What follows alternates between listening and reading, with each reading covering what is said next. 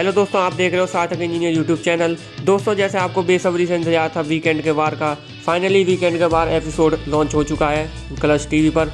दोस्तों, जहाँ पर सलमान सर ने बहुत ही धमाकेदार एंट्री करी, और कल उन्होंने सारे पाँच छः दिनों के जितने भी टॉपिक थे, वो सब कवर करे। जहाँ पर हमने उन्हें देखा कि वो कंटेस्टेंट को मोटिवेट करते हुए और उनकी तारीफ़ करते हुए नज़र आए। तो चलिए, आज हम इसी बारे में बात करते हैं इस वीडियो में। चलिए, शुरू करते हैं।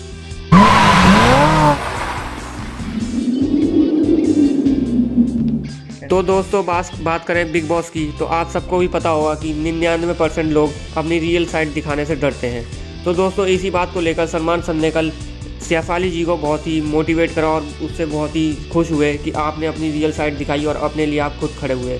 और जो बाकी कंटेस्टेंट अपने लिए नहीं खड़े हुए थे, उनसे भी कहा कि आप अपने लिए स्टैंड क्यों नहीं ले रहे हो।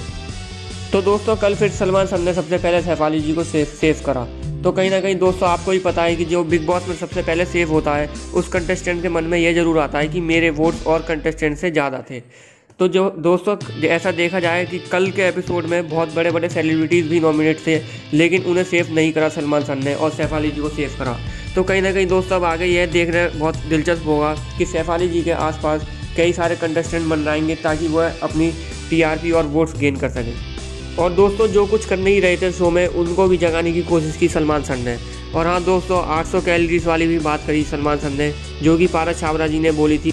फिर दोस्तों, आगे की बात करें तो घर में लाई जाती है बॉन्ड चेयर तो दोस्तों, फिर सलमान सर घर वालों से बोलते हैं कि आप आपस में वोटिंग करके यह बताइए कि किसके कनेक्शन सबसे स्ट्रॉन्ग है। तो फिर दोस्तों, सब आपस में वोटिंग करके मेजोरिटी जाती है शहनाज गिल को और पारस छाबरा को, और उनको बॉन्ड चेयर पर बिठा दिया जाता है। वहीं पर जब शहनाज गिल और पारस जी कुर्सी पर बैठते हैं तो शहनाज हमें बोलती हुई दिखाई दी कि मुझे यह शो वो नहीं जीत रहा, मुझे तो बस सलमान सर अपने पिक्चर में काम दे देंगे।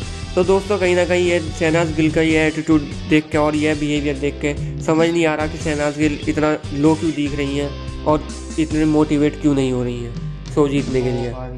फिर दोस्तों हमें आगे देखने को यह मिला कि सलमान सर आजिम रियाज को मोटिवेट करते हुए नज़र आए। जैसा कि दोस्तों आपको भी पता है कि आजिम रियाज में पोटेंशियल तो है, लेकिन उन्हें पोटेंशियल शो करने का मौका नहीं मिल रहा। फिर दोस्तों आगे Salman sir hair removal cream का भी मुद्दा उठाते हैं और बोलते हैं कि आजिम रियाज ने बिल्कुल सही किया जो वो चेयर से उठ गए। क्योंकि अगर उनकी जगह कोई और भी होता तो वो भी उठ जाता, क्योंकि हेयर रिमूवल क्रीम अगर चेहरे पर लगती तो जलन तो होती ही। दोस्तों फिर आगे सलमान सर बात करते हैं डेवलिया जी के क्वीन बनने पर। दोस्तों, फिर सलमान सर कल द्वारा वोटिंग करवाते हैं कि आप किसको चुनना चाहते हैं क्यून बनने के लिए। तो दोस्तों, कहीं ना कहीं हमें यह देखने को मिला, जिन लोगों ने पहले डेवोलिना जी को भी वोट किया था क्यून बनने के लिए, उनके भी वोट्स चेंज हो गए और वे किसी और का नाम लेने लग गए। जैसा कि दोस्तों, फिर घर के कंटेस्टेंट्स ने बोला, किसी का नाम शहनाज, किसी ने बोला माहिरा तो वहीं पर सलमान सर माहिरा से पूछते हैं कि आपने अपने लिए स्टैंड क्यों नहीं लिया? जबकि आपने तो इतनी अच्छे से वो टास्क परफॉर्म किया था और आप चेयर से गिव अप नहीं कर रही थी और ना ही आपने किया।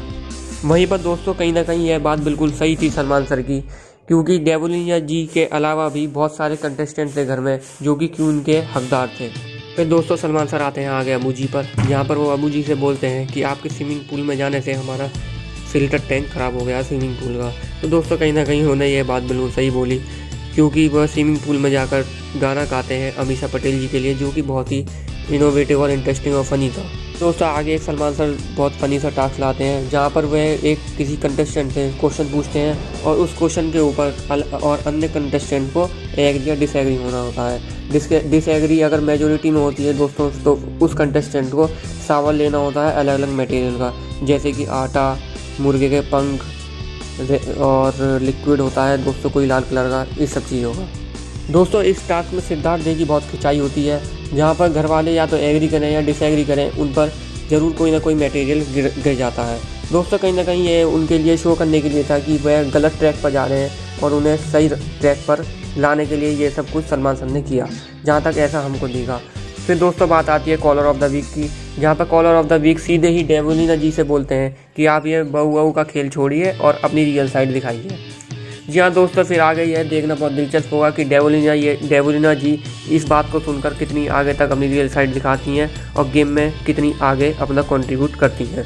तो दोस्तों, कहीं ना कहीं देखने पर ऐसा लग रहा है कि सेलिब्रिटीज़ अपनी रियल साइड पूरी तरीके से शो नहीं कर पा रहे हैं। वे अपनी रियल साइड लेकर रियल साइड को लेकर बहुत ही अटेम्प्टिव और बहुत ही कॉन्शियस हैं।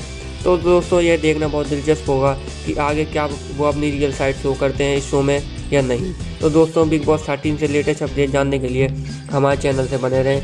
हमारे चैनल को दोस्तों बिल्कुल सब्सक्राइब कर दें और दोस्तों वीडियो को लाइक ज़रूर करें और शेयर ज़रूर करें।